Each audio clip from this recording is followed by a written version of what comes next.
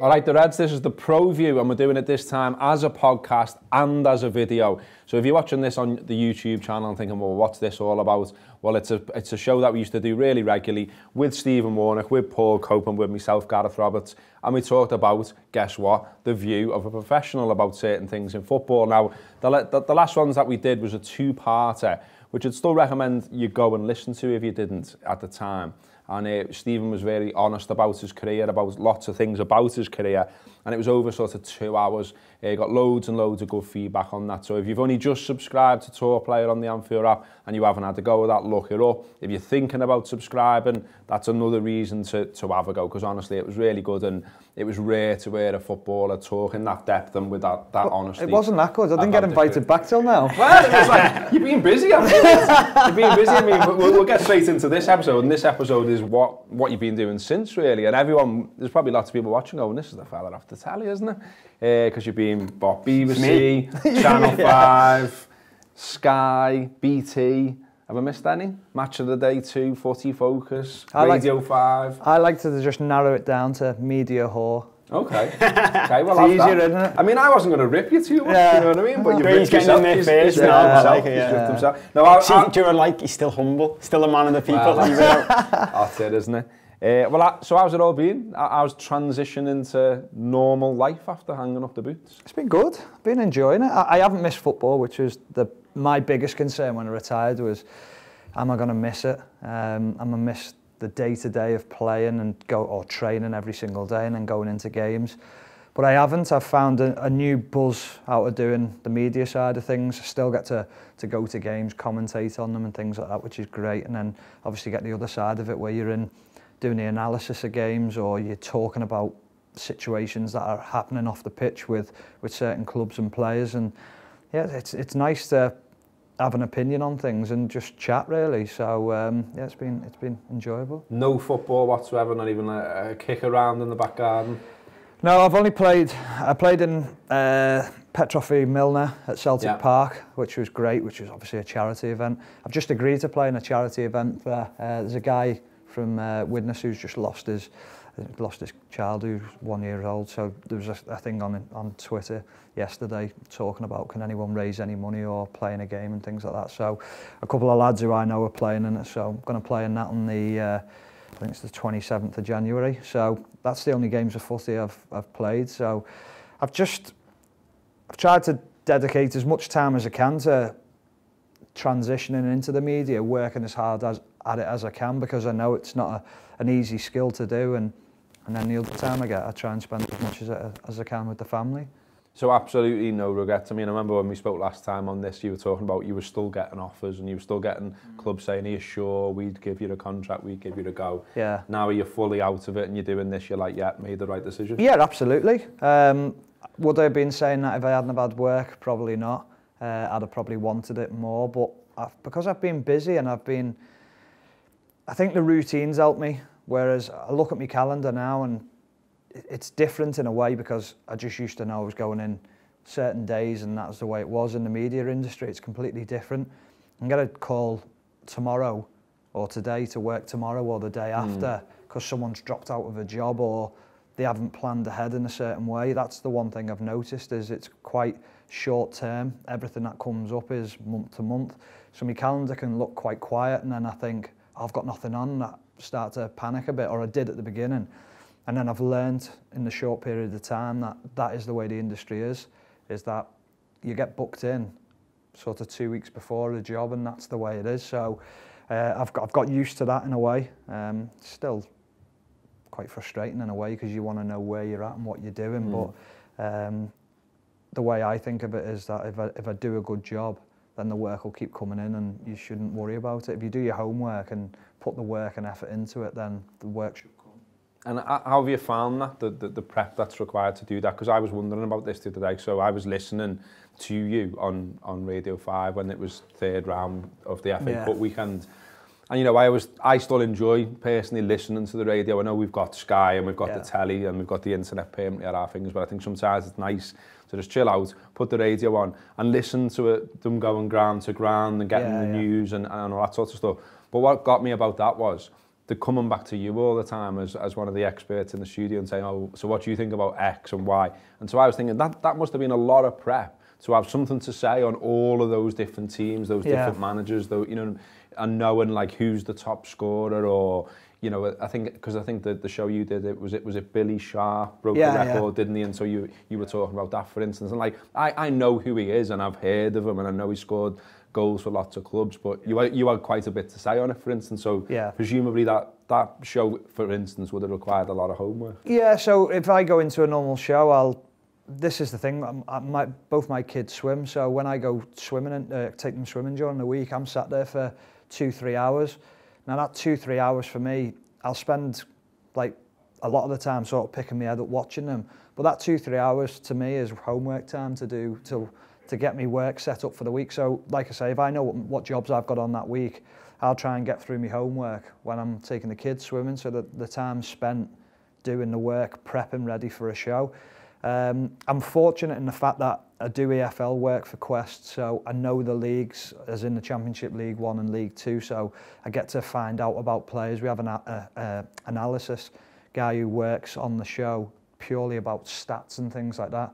So I'm trying to pick his brains all the time, or listen to what he's telling me, uh, or listen to what he's telling the room. And I've got two books in my house now that I've just been making, where I have stats on people and stats on clubs. So they're quite big books now because every time you do a job, you can revert back to it and update it and things like that. So for me, that's massively important to do my homework on stuff.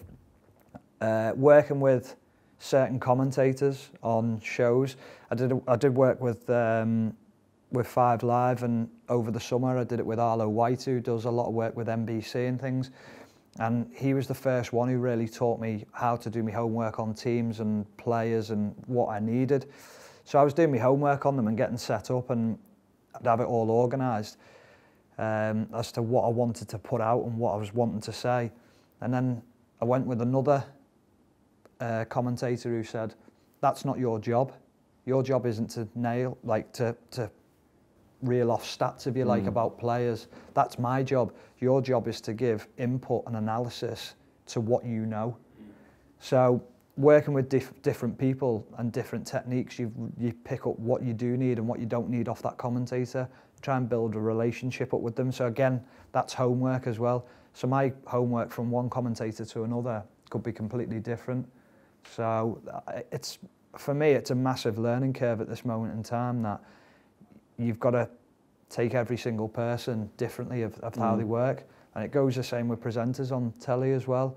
They'll have their own style of doing things, how they want to do it. Like Colin Murray on Quest is very much, his knowledge is just ridiculous on the EFL and what he knows. And he pretty much likes to tell people about stats and things like that. Whereas I like to give my opinion on what I think has happened in the game and things like that. So it's building a relationship to know when to come in on something and when you can sort of have a debate on things. So it's, um, yeah, it's, Do you feel like you, you've learnt more about footy now, just in this short period, about sort of the wider football league than you did when you were playing? Uh, possibly, but then I think what's helped me is is that because I've played in the Championship and I've played in League One, I know what it's about. So I've been to the grounds. I know I understand what the grounds are. I understand the mindset of players, what they think, how clubs run behind the scenes and things like that.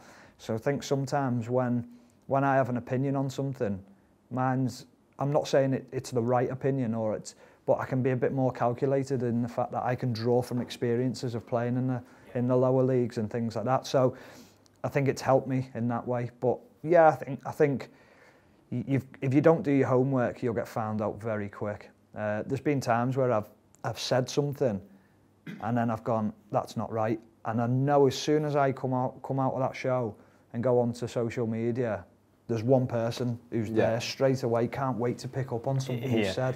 And sometimes as well, when you're on a on a on a radio show or when you're on a on a TV show, you only get maybe 10, 15 seconds to get your point across, but it's not long enough to, to, to give the full extent of what you want to say. Yeah. So you might get the first part of it out, but you won't, you don't get the reason why you want to back it up with.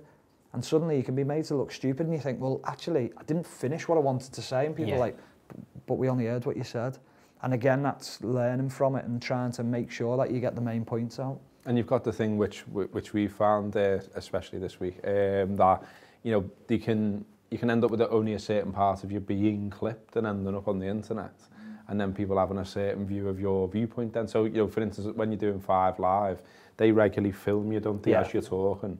And then little bits will be put onto Twitter. I, Yeah. I, almost against you don't know that that's happening, or you don't know what they've clipped until you're out of there, or No, when you get a little break and you look at your Twitter. And well, but I did say that. But I meant, what about that other bit that I said as yeah, well? So and that's exactly it. Yeah. That's the problem is that so as soon as they clip that little bit, that's that's what everyone sees, but they don't see the bit behind it that Yeah. you've backed it up with or talked about, and that's again that's part and parcel of it. But the only thing you can do is is that you know you're going to get another opportunity to go on the show, and you can revert back to it and say, last time I was on the show, I did talk about that, but the reason I spoke about that was because this happened or...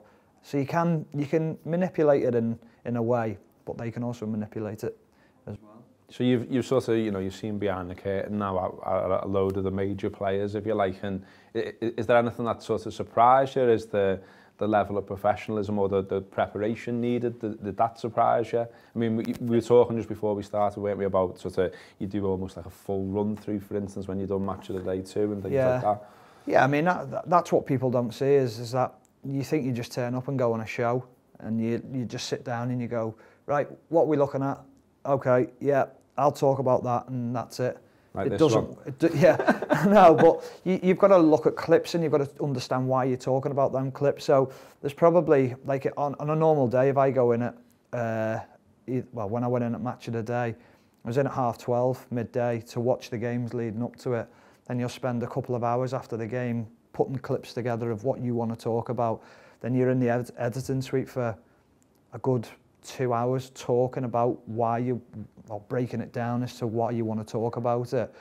And then you're talking to the other pundit who's on the show and the other presenter and the producers and saying, what do you think? And they'll say, why have you done that? And then you give your opinion. So it's great because you might miss something or they might have missed something. But what I found really interesting when I went on there, it was my first time, was a bit, obviously I'm going to be nervous going on to it, but they are all about no you're the expert in football. You're the one who's been on the pitch. You understand it. So your opinion matters and you've got to get that across. So if you think something needs to be in there you put it in because you're backing it up and there's a reason you want it in there. And that was good to know. Um, it wasn't basically right you're getting these clips and you're going to talk about them. It was what do you want to talk about? What did you see happen in that game? Which was great for me.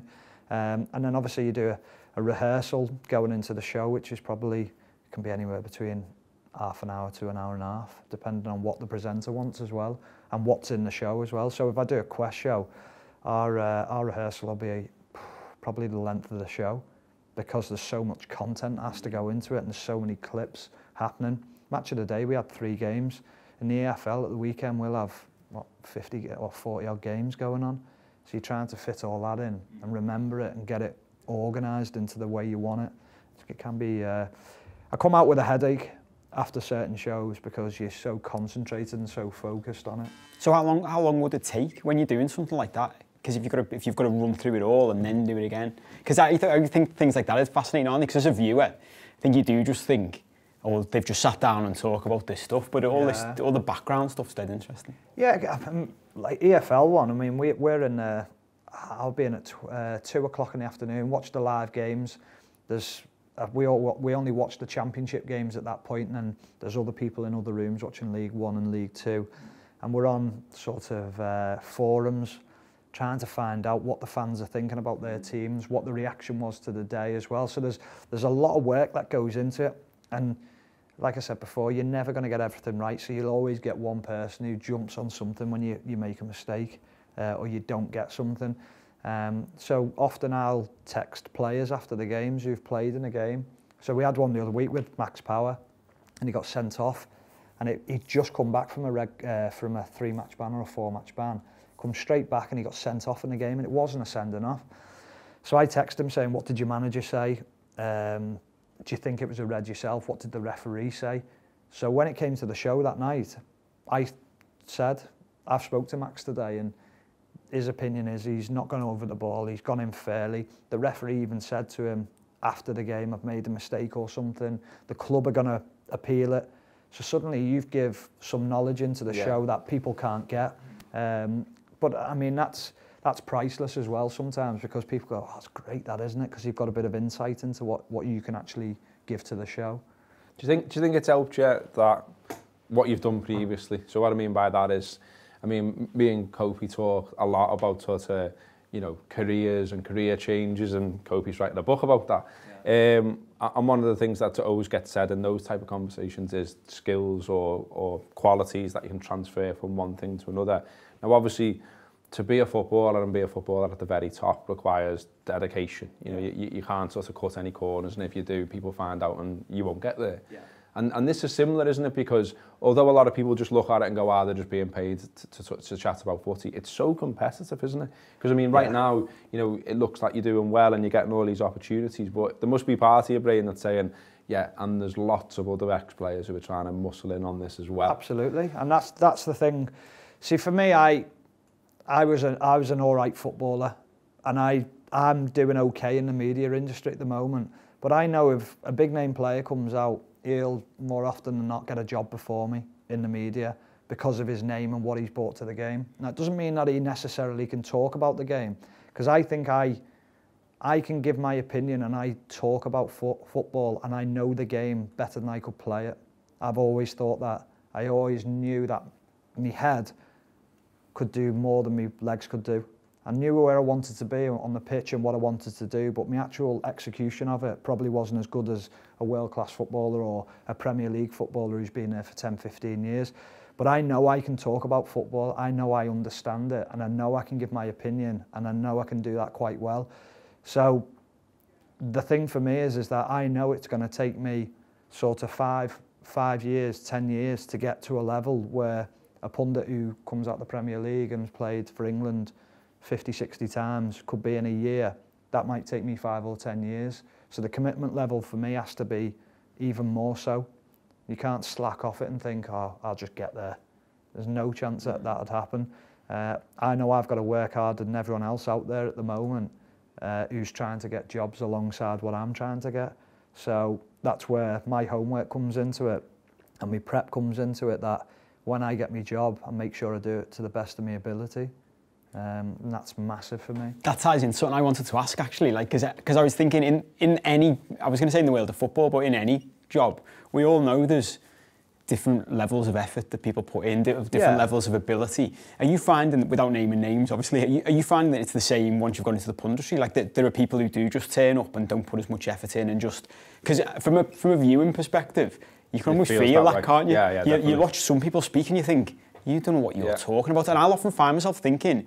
Well, you can't have watched all these games. Yeah. So where's your opinion coming from? It's not a great opinion. And then other people come across really knowledgeable, like Yeah. they do. It's, put it's the one of the things that we like. You know, I've ran a fanzine before I've done the Anfield Wrap, and one of the things that we always used to criticise certain journalists about was the, was the fact that certainly the way it used to work, you used to have your best writer, your chief football writer, Yeah. if you like, and they would go to the biggest game every weekend, Yeah. not watch Liverpool every week. And so my argument would always be that, well, I know more about Liverpool than you do, because if you're, if you're going, hopping around the grounds each yeah, week, you, you just know enough to cover that game, but you haven't watched Liverpool week in, week out. You're not obsessing over Liverpool yeah. like we do.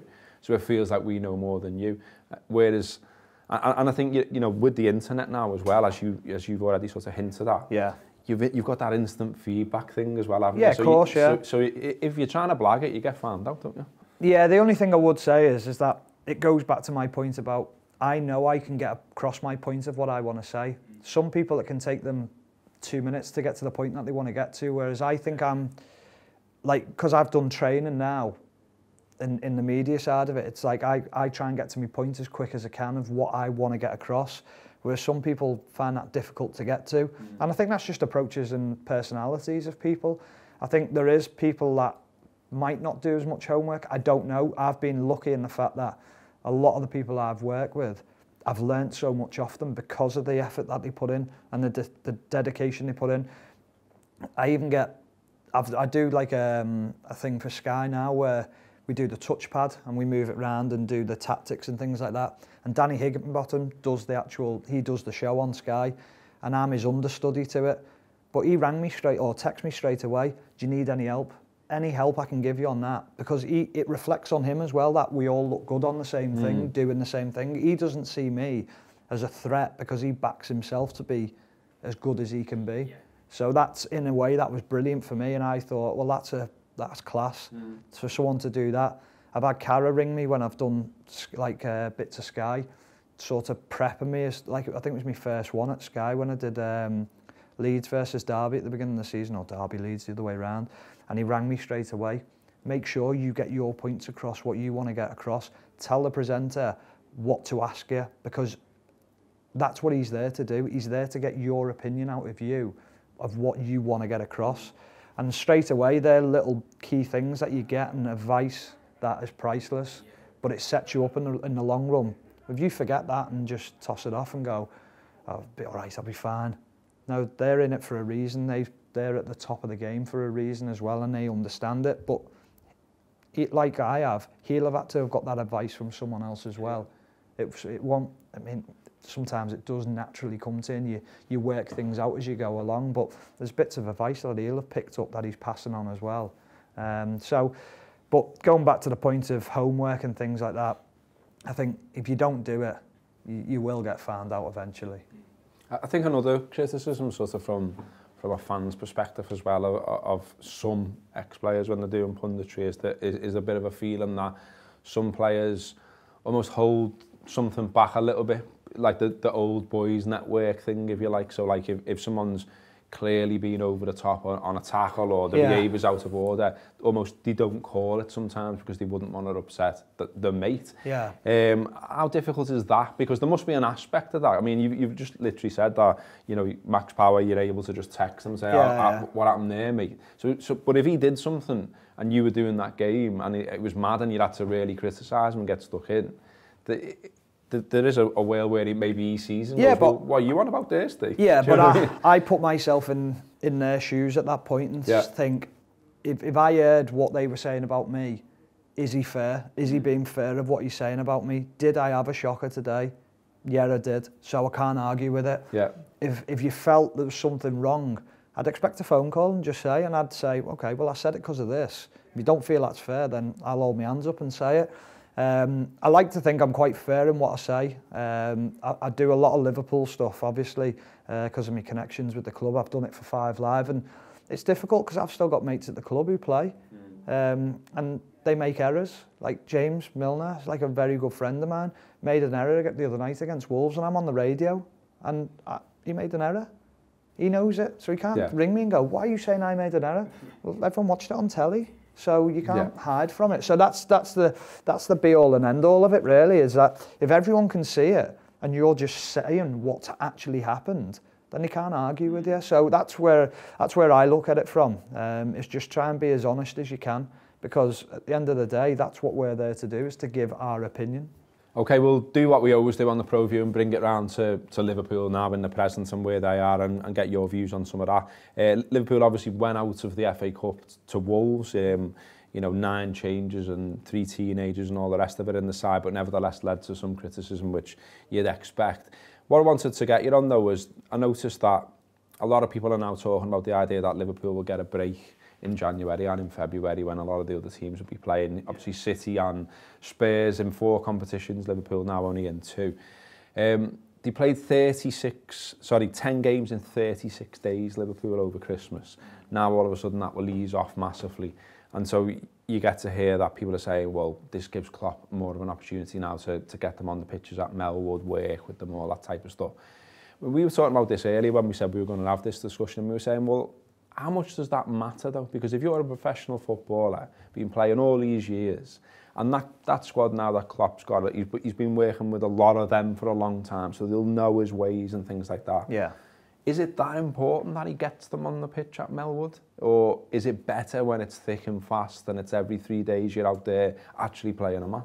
It, I think when you're winning, it's ideal to have the games coming thick and fast because you're in a rhythm of what you're doing and it's working and every time you're getting results.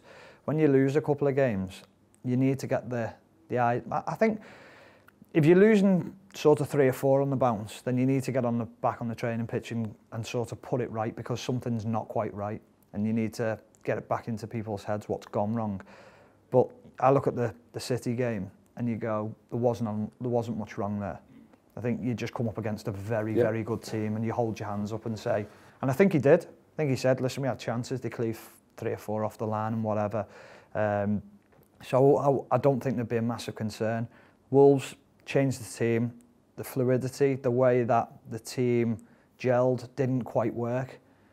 Again, Wolves are a good team. So to chuck out your second 11 against a very good Wolves team um, was always going to be a big ask. So I don't think he'd be necessarily worried by it. I think from looking from the outside in and seeing the way he's worked over the time he's been in charge at Liverpool, I think the one thing he is he's took on board massively and understood is this this league is more ferocious than the German league, and the games come thicker and faster, and that he has to rest team rest players or give them time off.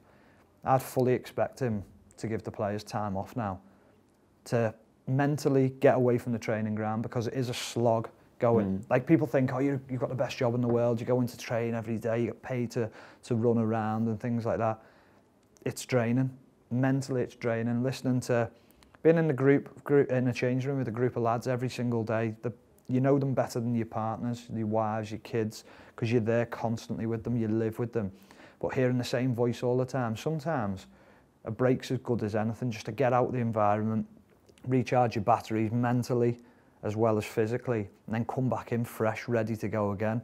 And I think that's what you'll probably do because I think there's a period now coming up where obviously it's an important period, but I thought against Man City they looked a little bit tired. Uh, but what what would you expect after the amount of games, like you said, not 10 games in 36 days, you're bound to look tired, aren't you? So I think there'll be a, a bit of a rest period, and I think that's as, as important as getting the players on the pitch. Do you know what you say about it being a slog? Is that especially true at this time of year? Because something, something we obviously love talking to, to you about is the thing that we love talking about separately about footballers are humans and people love to forget that. Yeah. As soon as you put a certain figure on how much people get paid or the job they do, then oh, well, they're not a human being anymore. And something I've often said in the past that I always reference Steven Gerrard for this for some reason. Doesn't matter whether you're Steven Gerrard or not. When you look out the window on a cold, horrible, like Wednesday morning, and you think it's hailstones, and I've got to go and run outside, I don't care how much money's going in your bank account. You, you, you still look and think, I don't want to go. I don't want to go out in this. And does Yeah. does it get to a point in a in a season where this where you just feel a bit like God, this is this is graft because of the conditions as well. I'd say so. I think there, there is points in it where you do think like I'm I'm knackered, I'm cold, I'm I'm like I could do it. Sometimes you do think I need a couple of days just to recharge, to get away, and just to have a break from going in. Yeah. So I, I enjoyed training in the bad weather, but there was days where I didn't. But there's days where it's roasting outside, and you're thinking, could do without running around in that heat again today. But that's just that's just anyone being picky about the situation they're in at the time. I think when you when you you talk about it being a slog, it is a slog to a certain degree because you've got everyone around you, all your family and friends who are going out drinking, time off with the family, going here, there, and everywhere. And your day to day is to do what you do. And again, people will say, well, you get paid a fortune to do that. But you're a normal person. You want them things in your life. They're the things that I've valued more than anything since I've come out of football. Is the time with the kids. If they if they want to go somewhere, I don't work that day. We go somewhere and we do something. Um, if I need a day off because I'm knackered, I take a day off. And it's that for me is just priceless. Did you fill your boots Uh, at Christmas as well? Uh, I went to a few Christmas parties. yeah, great. Yeah. Uh, but do you know what? I actually didn't. I just, the big thing for me over Christmas was I wanted, I took the 23rd, 24th and Christmas Day off. I was working Boxing Day on the 27th. Uh, I worked New Year's Eve, New Year's Day. I'm not a massive drinker anyway, but for me it was Christmas Eve's a big thing and like with my family, my wife's family, where take the kids to the Panto, go out for a meal that night, relax, enjoy it, look forward to Christmas Day. Christmas Day's at home with all the family, having a nice meal, presents, whatever, like everyone else's is. But it was not having to watch the clock thinking, I've got to be somewhere. I need to be in a hotel tonight or I've got to go to training, hurry up kids and open your presents, I've got to go, I've got to get out the door. It was just that pressure off of doing that. And that to me was nice. Listen, I'd change it in a heartbeat to go and play play in, uh, in the first team somewhere again. Probably would, but they're little things that you can appreciate. That's interesting, isn't it, Joe? Again, on the human level, you've basically gone from being, and I've never really thought of it like this before, footballers, for all the money and for all the fame and a great job, you're an employee. Whereas you're self-employed now. Yeah. So when you said then, I can give Exactly. myself a day off if I'm Yeah, tired, yeah. you can't do that as a footballer, can you? No, not If you're at all. knackered as a footballer, the best I would guess is you can go to your boss and say, can I have a day off? And you might not do that because you don't have that you- relationship. Or... Well, the thing is, as well as the fear is, is that you tell him you're tired, and he goes, "Well, he's not playing to the weekend then." But really, you just need a little bit of a, a breather for a day, and then you're ready to crack on again. I think that's one of the, hardest jobs of a manager or as a player to have that relationship with with each other, to know that you're not saying it for a negative reason, you're saying it because it's ultimately you want it to be a positive. Um, but yeah, that's the big thing for me. It was that was when I came out of football. That was my biggest worry. I spoke to a player uh, who I played with at Leeds a while ago, and he had a spell out the game from finishing in May up until October. He didn't have a club, and he was still 30, 31 at the time. And he said, I was ringing him, and I was still playing, and I said, uh, "How are you finding it?" He said, I hate it. He said, I can't cope with not being told where to be, what time to be in, what tracksuit you have to wear on a Saturday, or whether you have to wear a suit, what to eat, and things like that. He said, I can't cope with it. Lo- so he loved the routine of that. Well, no, he doesn't love it, just so used to it. Just so used to it. it. It's like yeah. being in the ar- I Yeah, always yeah. relate to it like being in the Yeah. army. You're so regimented in what you do. So that's where now uh, I was really lucky in the fact that as soon as this season finished, we had the World Cup and the BBC gave me work to do on co-coms. So I was doing homework for it. So I knew I had something, it was like training. So I was doing my homework, getting ready for the big game, go in, do the work on, do the co-commentating. And it was great, I got a buzz from it. And then there was a period of about three weeks after it where I thought, what am I going to do here? I was pulling my hair out. My missus was looking at me going, you need to get out and do something, don't you? So I started going to the gym, just trying to go in in the morning, get busy and have a routine again. And then once the work started up, I found I had a, a purpose then to do something. And that was, that was where you're trying to fill that, well, it's not the, what's the right word for it? You're trying to fill that void of not going into training every day, but having something. But my, my days are flipped on the head now where I used to go in the morning to training where my day's in the evening now. So I'll have all day off and I'll either go in and do a radio show at night or a co-commentary at night. But the weekends are still the same because you're still going in for, for work in the day to, to cover a game. So is your missus made up, yeah? Yeah. Do you know what? She is. She's one of them though, where she she's just like she knows how hard I've got to work for it, and she's like very supportive of it and understands it. Um, but she's also in the fact on mind of you've retired. Like the kids want to see you, I want to see you, we want time with you. But then there'll be days when I'm in the house and she's like, "Get out, she goes to work. You're doing me head in." So you're never gonna get the, never gonna get right all the time, are you? on, on the sort of, I didn't have this down as a thing, but it just came up as you, as you were talking then and, and what stuff you were both saying. The idea of, so what you're talking about is being in the right mindset to achieve something, yeah. whatever that might be. And it just made me think about some of the criticism levelled at some of the performances from Liverpool against Wolves, particularly senior players I'm thinking here, and we did it ourselves on one of the shows we did, was you didn't really get the idea that they were that up for it. There wasn't an intensity from a lot of them, really. And that's not to question the, them being professional, but I'm just wondering about the human aspect again. So this is, without doubt, Liverpool's most realistic chance of winning the title yeah. in 29 years. And every single one of those players knows that. Yeah. And the manager will be saying the same to them. So because they're now, you would think, pretty well focused on that as the prize, the, the, the, it's going to be hard to get up for an FA Cup game is what I'm saying. Yeah, there's another side.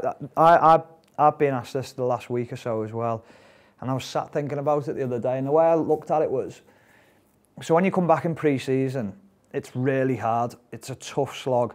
But some managers will do it where it's an easy pre-season and the games, the first five games of the season, are your main pre-season because it'll stand you in good stead later on in the season, so you're not burning yourself mm. out effectively. So I looked at West Ham. Now West Ham was shocking in the first five games, and you wonder how their pre-season was going into it.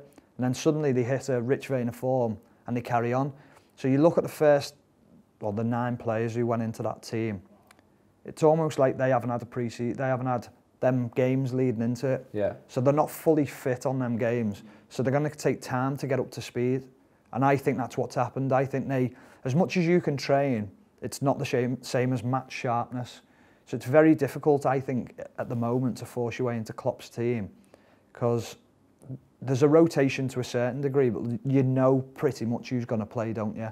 You've got your front three nailed on, back four, when fully fit, are nailed on, keeper. It's only the midfield three that really rotate as, uh, as much. But if you're rotating the way that midfield rotates, you're going to stay fit because you're going to play two and three, possibly, in and around that, maybe three and five, something like that. So you're not going to lose the level of fitness.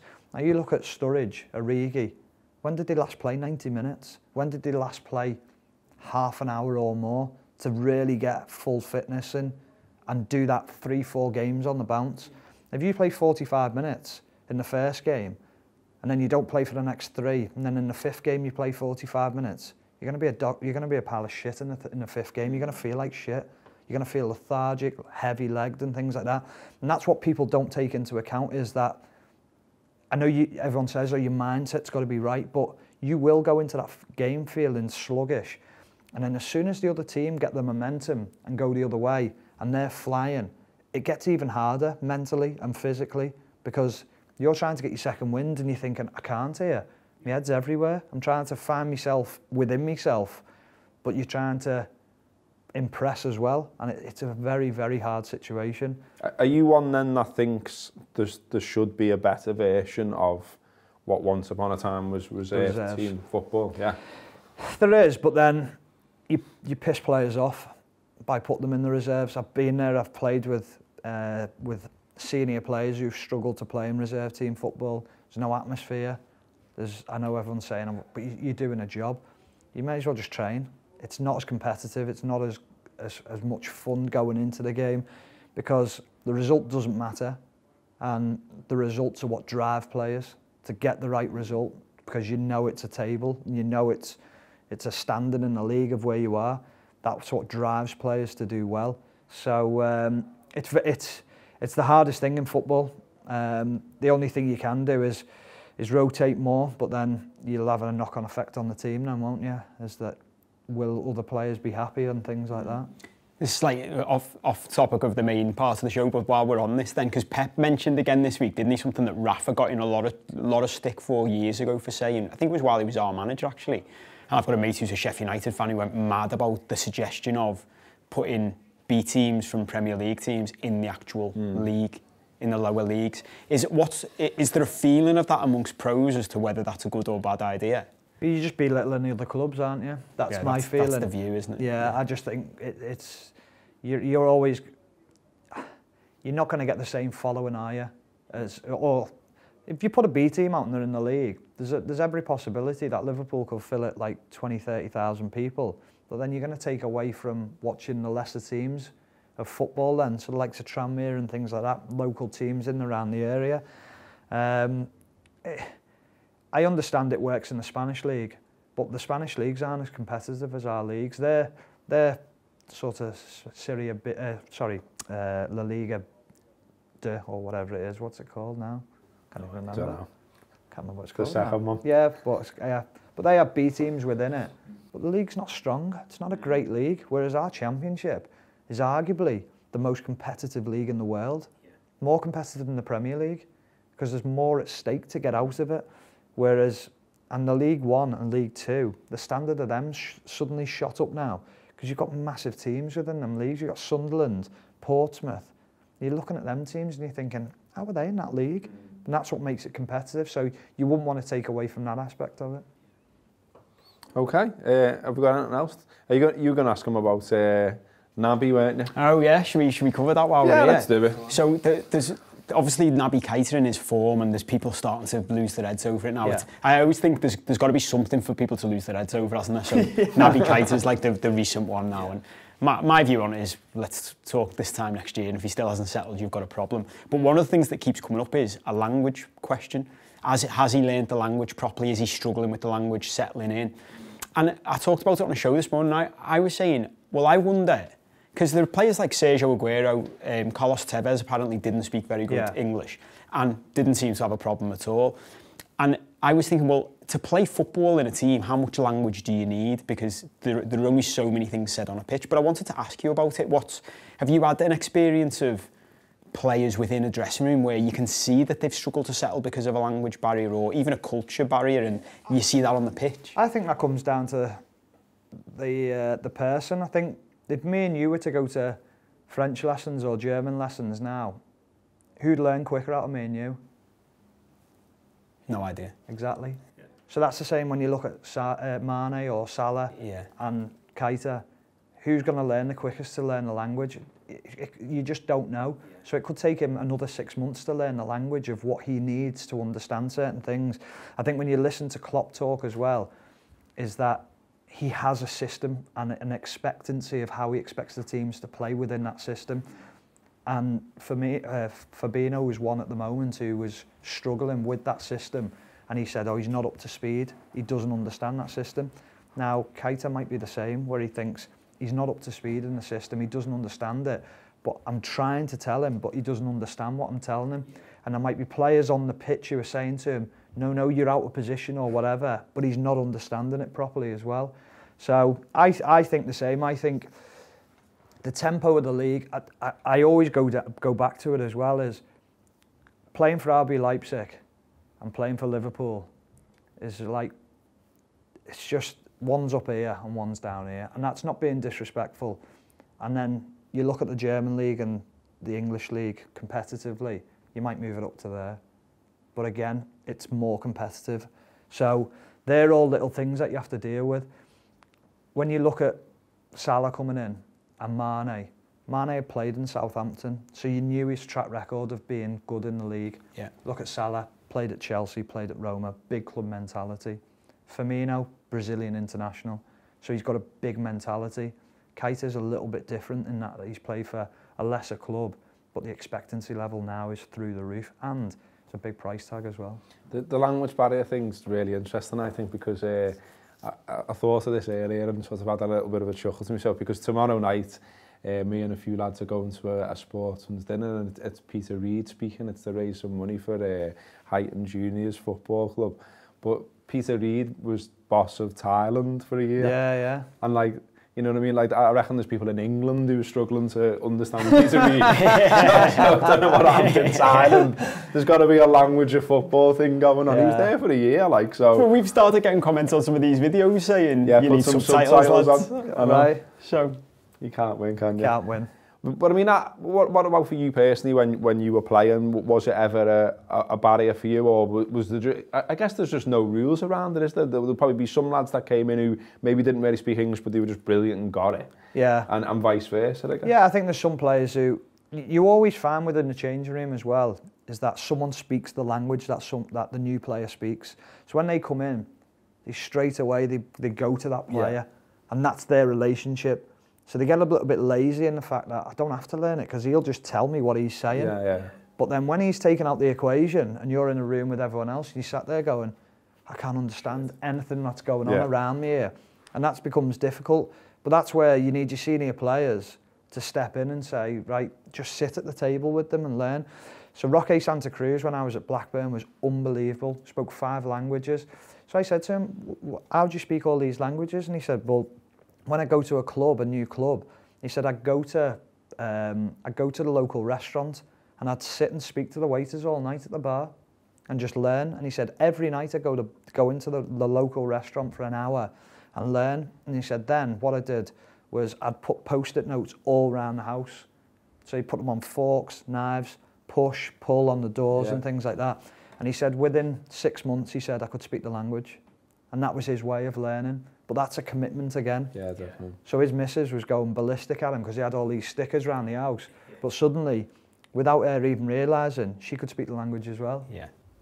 It, it's a commitment thing, isn't it? It's like, it's like Everyth um, everything in, in life is, isn't exactly, it? Exactly, yeah, because uh, well, we're going completely off track now. I'm going to do it anyway. But again, when we and Paul have spoke about sort of, you know, So who's Paul? This fella. Oh, right. that's, after That's my real name. but, it, but it's like you know, it, in his book, in his book which I've read, it's very good by the way. Yeah. Look out for it. Um, but he talks in that about sort of the idea when people say, "Oh, I, can't, I couldn't go and do something else now." Well, why couldn't you? Yeah, because, of course because, you because you could if you if you stopped looking at social media or you yeah, stopped watching yeah. the telly or you know you know if you devoted yourself yeah. to whatever it is, you can go and do something. People else. people don't like change though, do they? Well, that's it. They are, they just, the creatures of habit, aren't they? And just love the environment that they're in. Sometimes they're sad and they don't want to get out of it because they think, oh, I'm just happy where I am, but I'm sad. Um, and that's just the way it is. I think you've got to challenge yourself in life. I think that's the, the biggest thing is that you can do. I think that's where what, what I'm doing now on the media side is like the probably the biggest challenge I've ever had in my life. But I love it. Um, try and embrace it as much as you can and take it on. if it doesn't work out, I, at least I can hold my hands up and say, well, I had a go. Yeah. Tried it and it wasn't, it didn't work. I didn't, didn't succeed at it. But I think with the, with the language thing, I think you've just got to, you've got to throw yourself into it as much as you can. Okay, um, that's been the pro view then. Uh, I thought it was a, an, another excellent one. Hope you've enjoyed it too. Being a video and a podcast, as I say, this time around. So let us have your feedback on both platforms. And as I say, if you've never listened to the, the Anfield Wrap podcast and you're just watching the video, give them a go because they are very good. And that's how we, we started this business in the first place. So the podcasts are decent. They are recorded in a proper studio and we've got lots of good guests every week. So they're worth a listen. Uh, thanks for coming in today, Steve. Good luck with the... Burgeoning media career, as, I- as I once called it. Uh, that's been the Pro View. Up the Reds.